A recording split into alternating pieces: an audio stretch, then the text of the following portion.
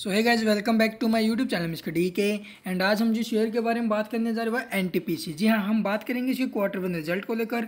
इसका जो है ना क्वार्टर वन रिज़ल्ट आ चुका है। तो चलिए, आपका ज़्यादा टाइम वेस्ट नहीं करते हुए मैं सीधे आपको इसका जो है क्वार्टर वन रिज़ल्ट दिखा देता हूँ।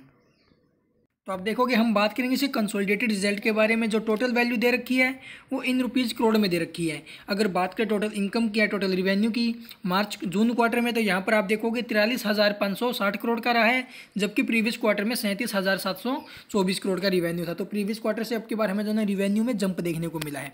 अगर बात करें एक्सपेंसिस को लेकर, यानी टोटल खर्चे तो आप देखोगे अब की बार जो टोटल एक्सपेंसिस रहे हैं, वो अड़तीस हज़ार तीन सौ निन्यानवे करोड़ के। जी हाँ अड़तीस हज़ार तीन सौ निन्यानवे करोड़ के, जबकि प्रीवियस क्वार्टर में इकतीस हज़ार आठ सौ सतासी करोड़ के हमें जो ना, एक्सपेंस देखने को मिले थे।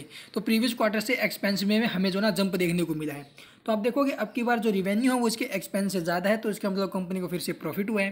कितना प्रॉफिट हुआ वो भी आप देख सकते हो। Net profit for the period अगर मैं बात करूँ तो अब की बार जो प्रॉफिट बचा है वो तीन हज़ार नौ सौ सतहत्तर करोड़ का। प्रीवियस क्वार्टर में आप देखोगे पाँच हज़ार एक सौ निन्यानवे करोड़ का। तो प्रीवियस क्वार्टर से हमें जो ना इसके प्रॉफिट में गिरावट देखने को मिली है, क्योंकि अब की बार आप देखोगे एक्सपेंस बहुत ज़्यादा रहे हैं इसी कारण।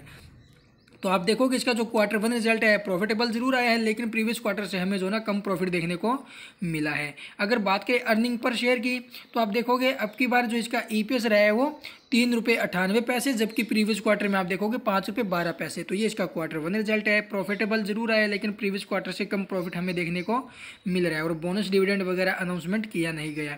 आई होप आपको वीडियो पसंद आया होगा। अगर वीडियो पसंद आए तो एक लाइक कीजिए और ऐसे ही लेटेस्ट क्वार्टर रिजल्टों के बारे में जानकारी पाने के लिए हमारे चैनल को सब्सक्राइब कर लीजिए and thank you for watching the video